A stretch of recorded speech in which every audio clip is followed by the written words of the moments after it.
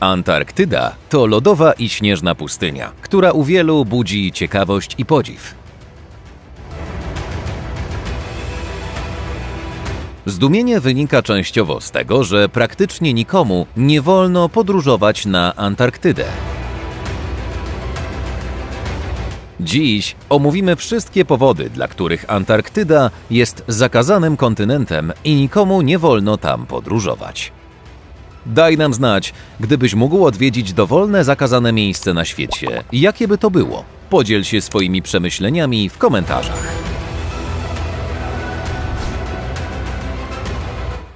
Traktat Antarktyczny w latach 1957-58 wiele krajów podpisało umowę, która szczegółowo określiła prawa, jakie każdy z tych krajów posiada na lądzie na Antarktydzie.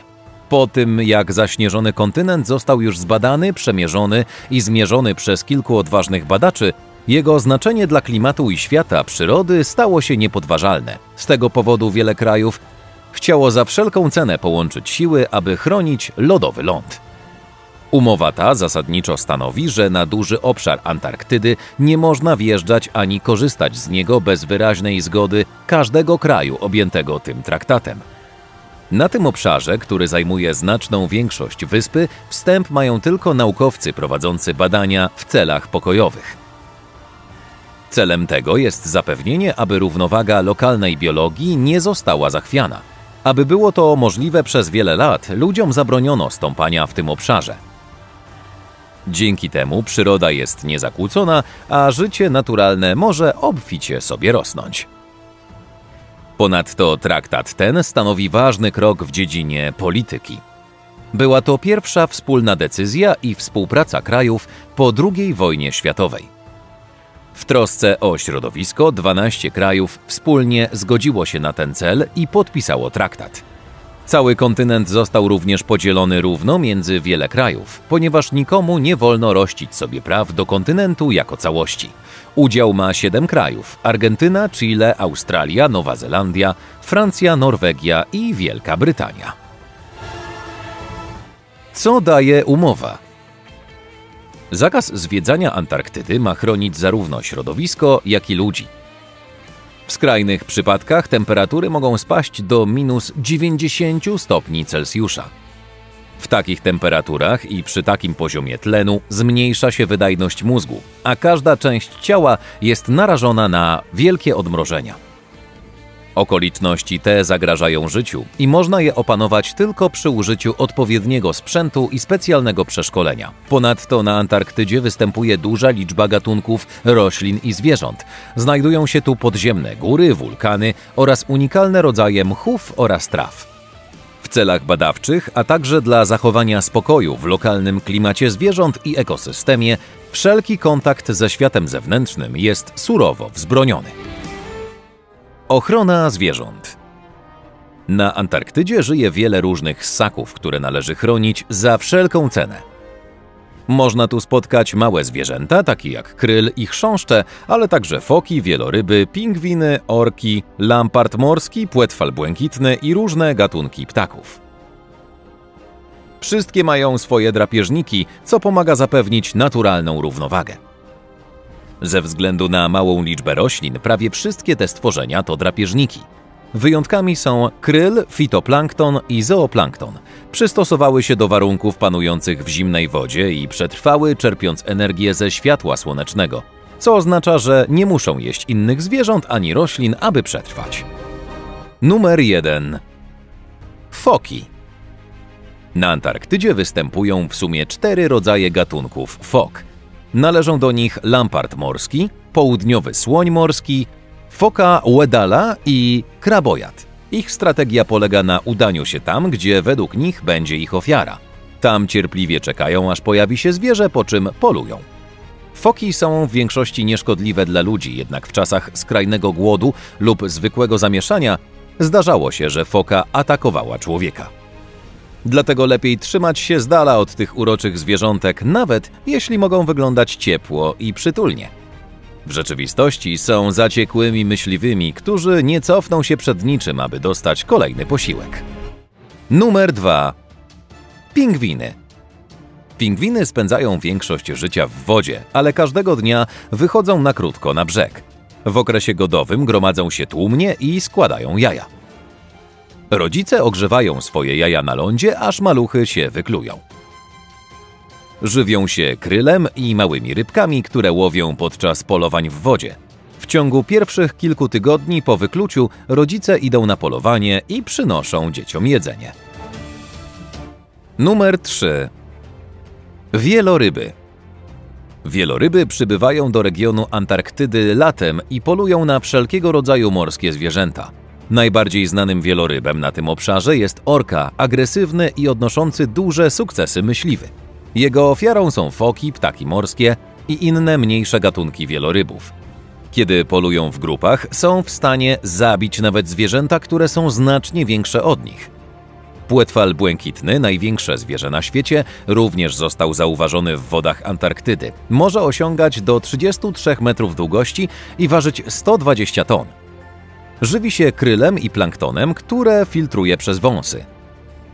Wieloryby w tym obszarze są niezwykle interesujące do oglądania, ponieważ ich zachowanie wydaje się dostosowywać nieco do środowiska, w którym się znajdują, a Antarktyda jest z pewnością wyjątkowym miejscem. Numer 4. Albatros. Ten ptak jest bardzo nietypowy i rzadko można go spotkać na wolności. Albatros znany jest z tego, że ma największą rozpiętość skrzydeł spośród wszystkich innych ptaków na Ziemi. W pewnym sensie jest uznawany za króla ptaków. Jego rozpostarte skrzydła mogą mierzyć nawet 3 metry.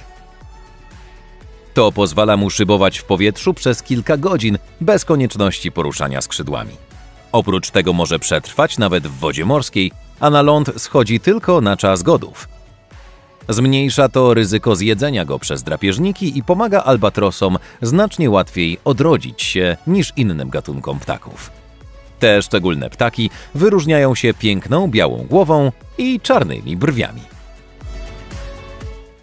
Jak to się wszystko zaczęło? Historia Antarktydy.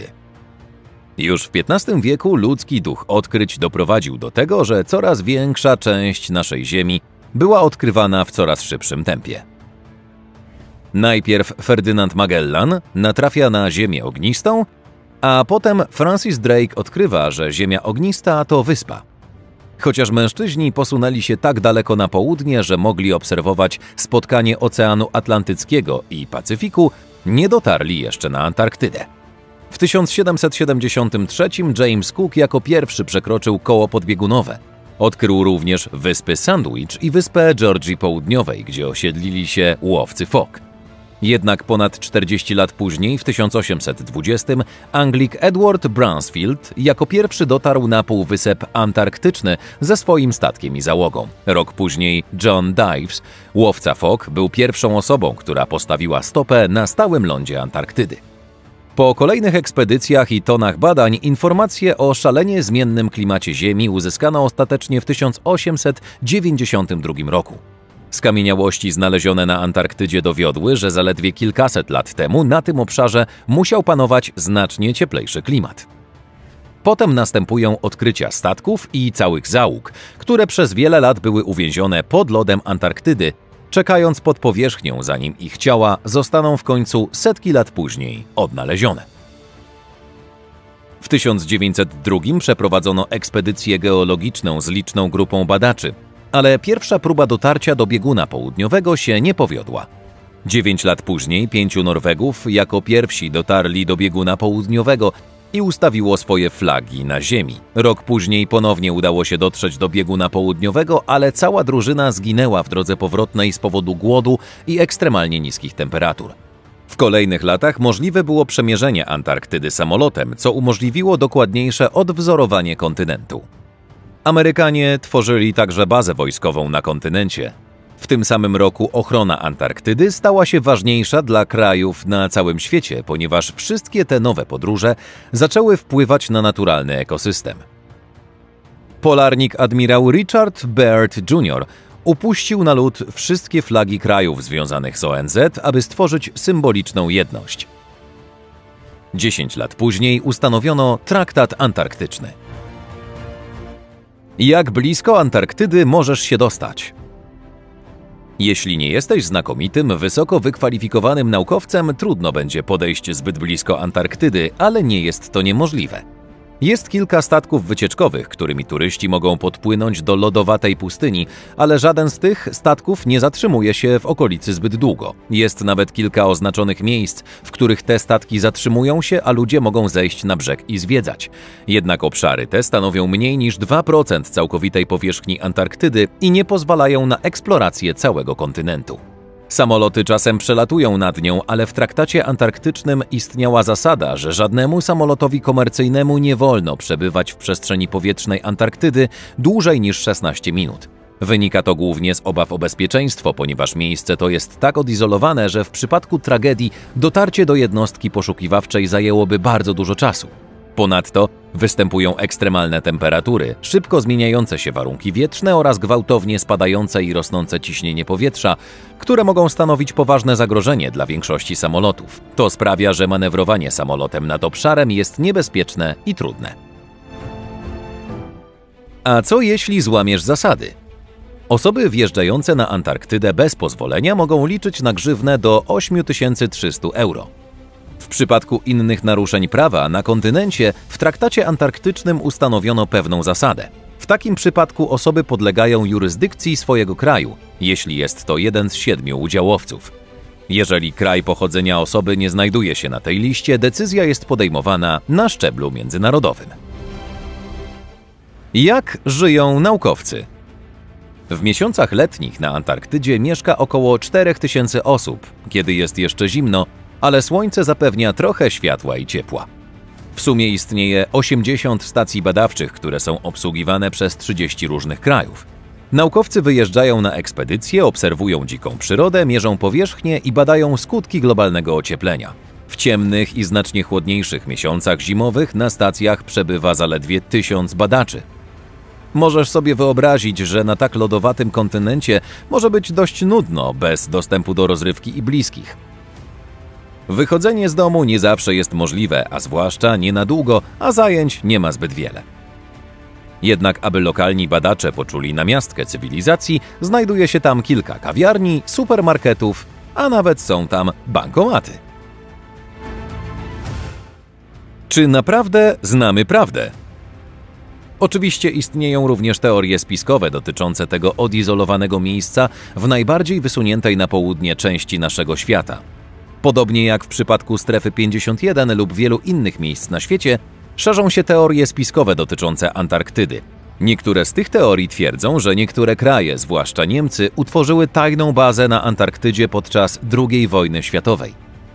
Twierdzono, że Niemcy wykorzystywały kontynent do badania statków kosmicznych obcych, a niektórzy ludzie twierdzili, że widzieli napędzane przez Niemców UFO wchodzące do tunelu zakopanego głęboko na Antarktydzie.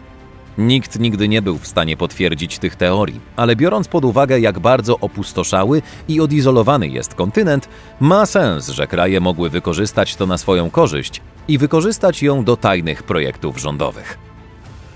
Wiele z tych teorii kończy się twierdzeniem, że głęboko pod powierzchnią lodu kryje się tajne podziemne miasto lub kwitnące społeczeństwo. Tak naprawdę nie wiemy, jak powstały te teorie, ale prawdopodobieństwo istnienia podziemnej bazy na Antarktydzie jest raczej dość małe. Antarktyda to naprawdę piękne miejsce, ale za wszelką cenę musimy chronić kontynent. Szkoda, że tak mało ludzi może badać lodowe pustkowia, ale wygląda na to, że te zasady i przepisy zostały wprowadzone dla naszego dobra. W końcu ten kontynent jest bardzo niebezpieczny.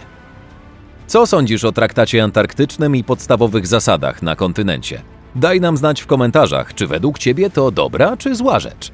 Czy powinno się zezwolić na wizytę większej liczbie osób? Dzięki za oglądanie. Pamiętaj, aby nacisnąć ten przycisk i włączyć powiadomienia, aby obejrzeć więcej naszych filmów.